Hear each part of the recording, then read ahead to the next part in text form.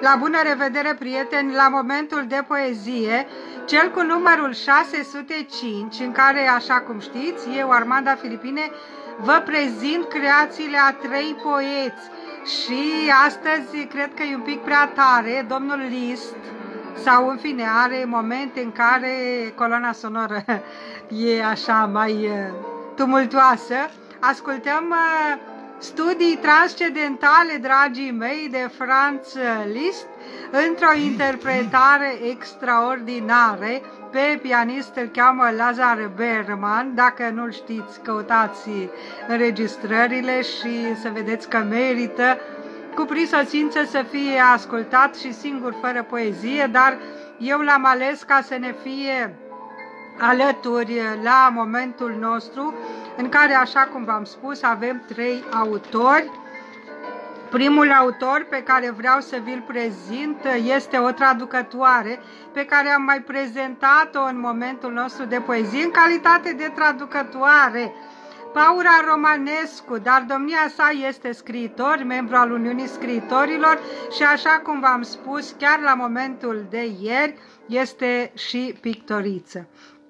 S-a născut în 20 octombrie 1942 în județul Argeș, a făcut facultatea de litere la București și apoi a făcut în Franța studii de arte. Și doamna noastră, am mai prezentat-o eu, face multe, multe traduceri. Mi-a plăcut, am descoperit chestia asta și o să citesc cu mare interes a făcut traduceri din poezia închisorilor, dragii mei, un subiect pe care nu prea îl uh, frecventăm noi nici în România, acei minunați oameni care au fost închiși de regimul comunist doar pentru că erau împotriva regimului și care au gândit, au simțit în uh, timpul detenției, în versuri și apoi le-au rescris uh, în caiete când au reușit în sfârșit să se elibereze sau să fie eliberați de noul regim sau de, în fine, vremurile care au zis gata, au stat prea mult acolo. Și uh, deci Paula Romanescu este această scriitoare care face, plus că face o mulțime de traduceri din limba română în limba franceză, de, de altfel cunoscând bine limba, scrie și în franceză și poezie și multe altele. Am văzut că are și un volum de epigrame, dar pe noi ne interesează acum la acest moment Paula Romanescu, pe care v-am lecturat-o ieri din revista Leviatan, dar nu era creația sa. Deci acum ne interesează poeta Paula Romanescu și creațiile sale, cel puțin. Eu am să vă citesc uh, un, uh, un poem uh, care este prezentat sonet într-o uh, publicație pe internet, se cheamă luceafărul.net uh, și sonetul este publicat în 2017 și foarte, foarte interesant și foarte mm, dureros, așa, seamănă foarte bine starea care ne e transmisă în versuri și cu ce simțim acum. Deci, Paula Romanescu. Se întrec profeții să ne dea de știre că ne așteaptă vremi de nou potop, iar cel ce va scăpa și de acest hop va întemeia o nouă omenire, cu un loc de zâmbet, clonț de fier și dop în spatele urechii de asurzire, prinse deja când vânt de neiubire, de freamătul frunzișului de plop, nu va mai ști ci doar de neînțelesuri din foste vorbe, de un deșert de șesuri, cu râuri de cenușă sub necuprinsa zare, când nimeni nu va fi, nici cui să spună, că fluviul orb al lumilor sub soare e doar o repetabilă minciună. Un poem uh, trist și dureros, și um, parcă n-are, parcă n-are speranță. Și v-am zis, e publicat în 2017 în această revistă luceafărul.net, dar iată, suntem în 2021 și simțim uh, că parcă noua omenire prinde contur și nu-i deloc frumoasă și fără zâmbet, cum spune poeta noastră, și urechile parcă își pun dopuri ca să nu mai audă nimic și freamătul frunzișului de plopi nu e cel pe care îl dorim, dar în fine, să sperăm că va fi bine și poeta noastră cu siguranță are și alte versuri, dar eu m-am oprit la acestea pentru că sunt cumva un ecou al acestor zile în care nu ne regăsim, nu ne simțim în regulă, în fine, dacă ne-am vaccinat cu toții, ce bine ar fi și atunci chiar ne vom simți cât de cât mai aproape de ce trăiam înainte. În fine, trecem la un alt autor, tot o autoare, de data aceasta o australiancă, născută în 7 septembrie 1935, care trăiește în Marea Britanie. O cheamă Catherine Gallagher și pe care eu am găsit-o într-o revistă Timpul, tocmai din 2009, uh, o revistă pe care o am prin casă și uh, dacă tot uh, din ea n-am prezentat nimic, bine, nu toate revistele Timpul aveau poezie, acum în noua formulă cred că au mai multe, n-am stat să urmăresc cu atenție, dar în vremea când Cumpăram eu toată ziua reviste Timpul pentru că se găseau, revista culturală Timpul, pentru că mai era o revistă Timpul. Deci revista asta ieșeană Timpul, foarte, foarte frumoasă și ea, ca și Orizontul, le luam pe amândouă și îmi plăcea tare mult. Deci am regăsit aici, um, într-o pagină, sunt uh, două autoare traduse, acum am să vă prezint pe Catherine Gallagher, Traducătoarea este Alexandra Sârbu și uh, e aici uh, un mic uh, discurs explicativ care zice că aceste traduceri fac parte din proiectul european Pro Traducerea Poeziei Contemporane. La Masterul pentru Traducerea Textului Literar din Facultatea Bucureșteană de litere, iată un gest foarte bun și spune aici inițiat de profesor dr. Lidia Vianu. Bravo, a fost, poate va mai fi. De asta fac această subliniere, poate că sublinierea asta noastră chiar așa pe internet va prinde contur într-un timp într-un timp foarte aproape de prezent, nu vreau să zic viitor, cine știe când, și să avem mai multe traduceri din uh, poezia contemporană a altor culturi, pentru că v-am zis, sunt foarte interesante aceste paralele. Ați văzut și Claudiu Comartin face multe traduceri în revista Poesis Internațional și mai sunt câțiva care fac uh, aceste gesturi, dar foarte puțini. E adevărat că trebuie să fii poet ca să faci traduceri. Dacă nu ești poet, Poate să știi tu mama limbii, că sună ca mama Gaia și v-am mai zis eu că am mai citit și nu mi-a plăcut și așa și pe dincolo. Dar în fine, să revenim la poeta noastră, v-am zis, născută în Australia, care trăiește în Anglia, care are o figură foarte interesantă de femeie, așa, care știe ce vrea și uh, să vedem poezia. Fata pe un cal gonind este traducerea, repet, Alexandra Sârbu capul calului înainte, nu se predă, fata stând în verticală în scări, cerul negru adunând oțel, vântul tăindu-i părul din față, arcuirea ei întunecată gonind tot mai repede. Neclarul fraților stând împietriți, ea ținându-și răsuflarea, moartă de frică și zburând. E o minunată poveste aici cu această fată gonind pe un cal. Ehm, da, și vedeți, cam scârție traducerea cu siguranță în original nu e așa de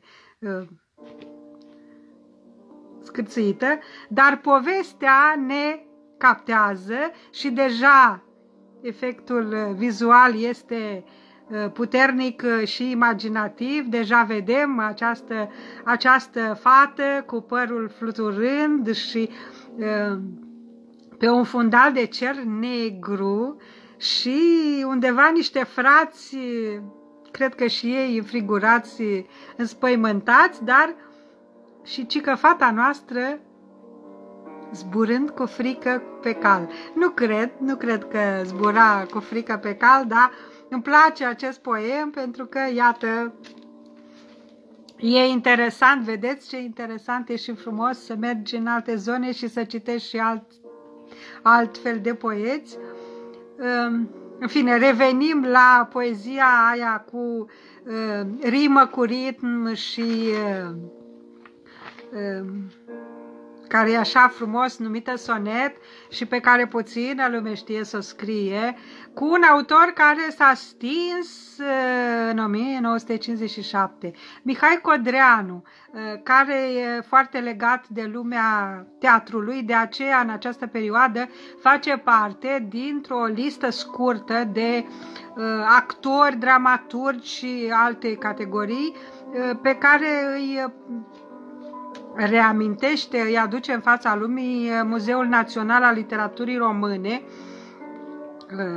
E acolo și regretatul actor Ștefan Radov, e și Mihai Codreanu. Eu aveam în minte să-l prezint, dar am tot omis, l-am tot uitat și mi-am notat câteva versuri pe care iarăși n-am mai știut unde le-am notat și iată că acum a venit momentul acestui uh, acestui poet, acestui traducător, acestui dramaturg și um, am citit că era foarte iubit pentru sonetele sale, ba chiar unul dintre volume a fost premiat de Academia Română.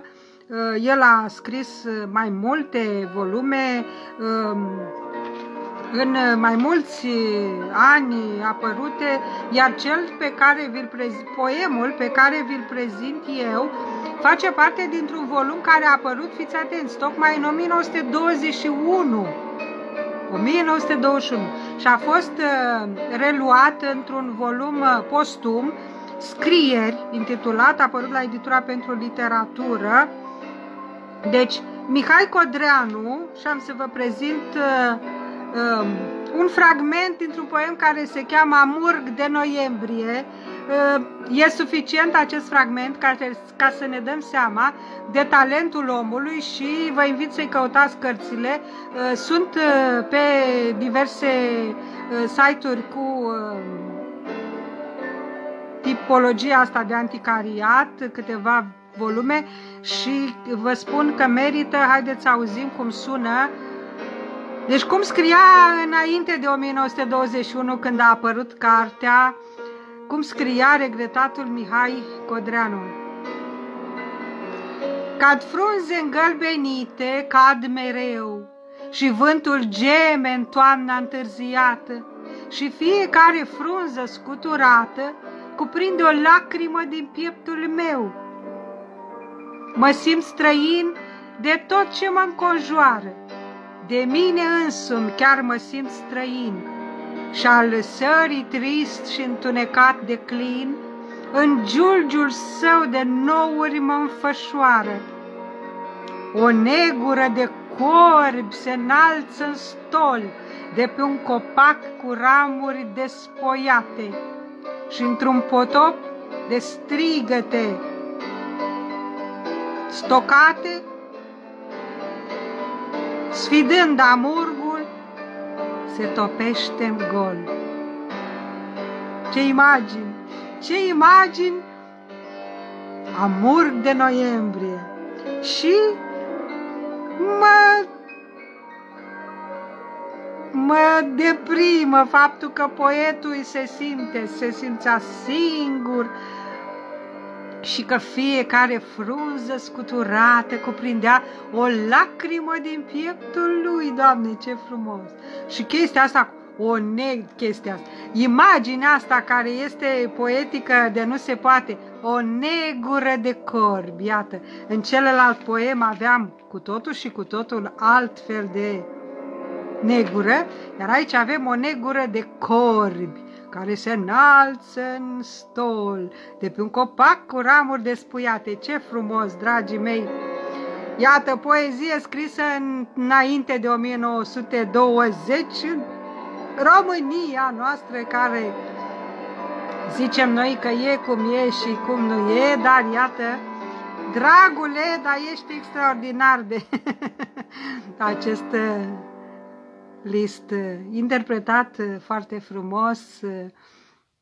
Acesta a fost momentul de poezie, dragii mei. Cred că v-am făcut curioși și și cu aceste nume de autori, poate că, sigur, unii știați și atunci n-am făcut decât să vă reamintesc, dar pentru cei care sunt în fața acestor nume bucuroși că le aud, poate că îi stârnim și vor citi mai mult și vor merge să deschidă mai multe reviste și V-am mai zis eu, momentul de poezie nu trebuie să fie neapărat aici, la întâlnirea noastră, poate fi oricând la dumneavoastră acasă, cu cărțile pe care le aveți, să revedeți poeții pe care îi aveți deja în bibliotecă sau să deschideți reviste, sunt atâtea, și să vă bucurați de o clipă de poezie care poate fi luată așa, cum e o floare, ca să îți facă puțină lumină în casă și aceste momente de poezie să fie bucuria și medicamentul nostru în această pandemie. Dragii mei, vă spun toate cele bune. Dacă nu v-ați vaccinat, vă rog frumos să o faceți. Este o bucurie să te simți liber în această pandemie. Asta face cu siguranță vaccinul. Te simți liber și ajut și pe ceilalți pentru că nu mai dai virusul.